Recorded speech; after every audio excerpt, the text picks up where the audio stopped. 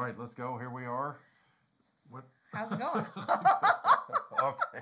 Yes. We're, We're just it. calling. We are fresh back from uh, our big real estate convention, but we are, there was a new uh, remodeling survey that came out. That they, of course, there's an association that tracks things like this, and we just thought it was really interesting that we'd share some of the highlights of this remodeling study that they surveyed and asked homeowners and realtors alike what they thought the top remodeling items are as far as what to do and what your return is if you do them and you're thinking about selling your home.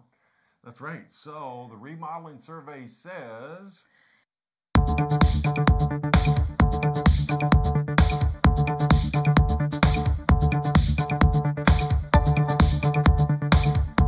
that in, Americans spent 420 billion dollars with a B on remodeling in 2020.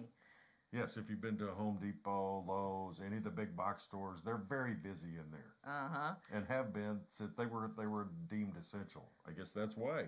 Yep. So when consumers remodel, it's to upgrade worn out surfaces, finishes, and materials 30%. 20% want to improve their livability, and 16% it's just time for a change. And if you see something, the home that maybe, you know, is 50 years old, it's time for its update. Yes, yes. Sometimes it's just time for a change. A lot Yes. of times people would change, they just sell their house and buy another house. Not easy to do, but uh, can be done. So Contingent offer. after remodeling, We have solutions for that.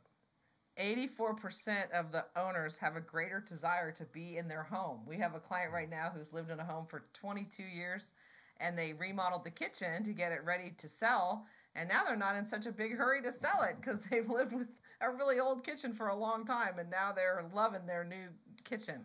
Yes, happens almost every time. hmm They also, uh, in this survey, had a joy score. Like, what of the remodeling things that you did brought you joy? So I'll run over some of those things that had a 10 joy score. So, what do you think is the number one thing that is the best thing for cost recovery on doing a remodel of your home? I was surprised by this. Are you surprised too? Yeah, I was surprised. I was surprised. The number one thing, drum roll please, is the refinishing your hardwood floors is number one, which I thought because not all the newer homes even have hardwood floors to refinish. But that was number one. Number two, new hardwood flooring. Number three was insulation upgrade. Uh, number four, basement conversion. Of course, is the national survey. We don't have basements here in Ventura. Um, closet renovation and complete kitchen remodel and complete bathroom remodel. Because, of course, what helps sell your home? Newer bathrooms, newer kitchens. That's Kitchens what everybody likes. Yes, kitchens and bath, as always. Yep. And after that, it's adding a bathroom. So those are the top cost recovery things, the things that you do, and you get most of your money back when you do them. The next um, item here on my list is the joy score. So things that brought a joy score of 10, things that make you very happy when you do them. A joy score. Now, that's not interpretive, is it? Yeah, well. well, guess what number one is on that? Number one thing we always do the cheapest thing to do to your house to upgrade it completely. The cheapest thing. What is that? I don't know. New pillows? Paint! Oh, To paint the entire interior of the house. We have several go- uh, going right now that our sellers are painting the interior and fixing up the homes because, you know, the nicer homes, things that are ready to go, always sell more quickly and for top dollar. every time. every time. Yes. Nu- number two is paint one interior room. So sometimes, you know, your daughter or your son wanted a really fun color in their bedroom. Time to paint that before you uh, put it on the market, because usually those bright colors they don't look so hot in the photos. um, number three, and this is since you know the shutdown, is add a new home office. Uh, number four, hardwood flooring, and the new flooring closet renovation. So those are the things that brought you the 10 joy score once you do them. Yes, well, we're all looking for a 10 joy. I'm not Yes. sure hardwood flooring would do that for me. And then um, on the exterior, of course, the number one thing, the roof. Roofing, number one. Number two, garage door. Because if you change the roof and you put a new garage door, shoot, it looks like a new house. It is a new house. I mean, totally looks different. Um, then vinyl siding, vinyl windows, um, wood windows, steel front doors. So those are the exterior things that bring the highest cost recovery when you do them. So, and the joy score and the cost recovery are not really hand in glove because nobody really gets a 10 joy out of a new roof, I don't think. Yeah, well, no, ex- they you would though if it was raining. Oh, yeah, You'd be your- very happy you had a new roof if it was raining. And your old roof leaked.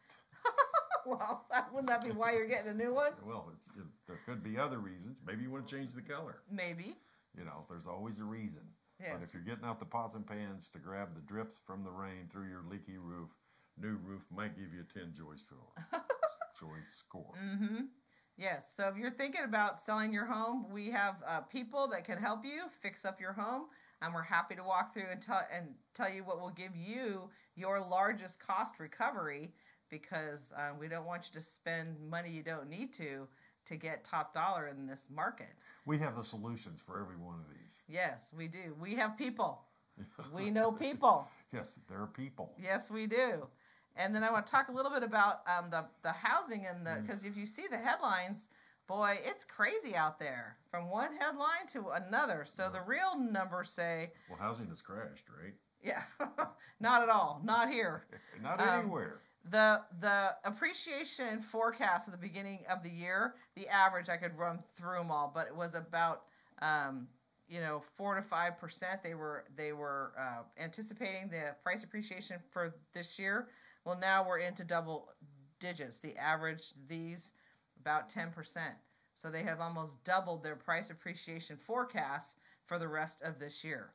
Yeah, so the revisions are from three and four percent for this year now to double digit returns for this year. Right. And if I read like Fannie Mae, for example, they said 7.6 appreciation for this year. They've increased it to 16%. So almost every single one of these, Fannie, Freddie, NAR, Zelman, they've all more than doubled their price appreciation uh, uh, forecast for th- this year. Appreciation is slowing, but not crashing. I mean, that's you see all these things about crashing home prices. I mean, our prices here, Well, they're appreciation's slowing, but not depreciating. So Right. it's just not going up as fast. It's not going down. Right. But I mean, it's 20%, 20.2, 18.3% in June appreciation, percentage year over year home prices. Homeowners have equity. Yes. They and do. growing. They do. Um, we talked about the home price forecast. we did. Yes, we did.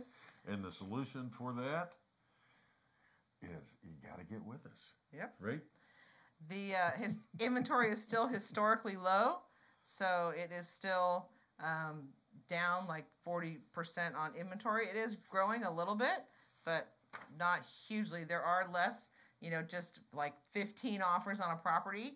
There might be two or three, but it's not a total frenzy like it has been. That is correct. Yes, and then Ventura, these are just some quick prices. The median price um, in Ventura is up 9.7%, 876,000. Oxnard up 8%, 746,000. Camarillo up 9%, 858,000. And Ojai up 16%, 1.165 thousand is the median. Yes, in Ojai.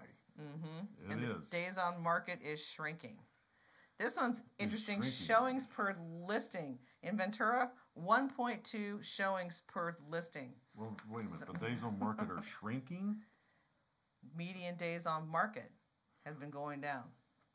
Well, we did. I think that's they're going up. They're they're longer days on market. You're telling me they're less days on market than Well, was? compared to historically. oh, yes. Yes. Okay. Historically. That's Yeah, what I'm depends on where you to. where you draw your line in the sand. That's right. That's what statistics do, mm-hmm. right?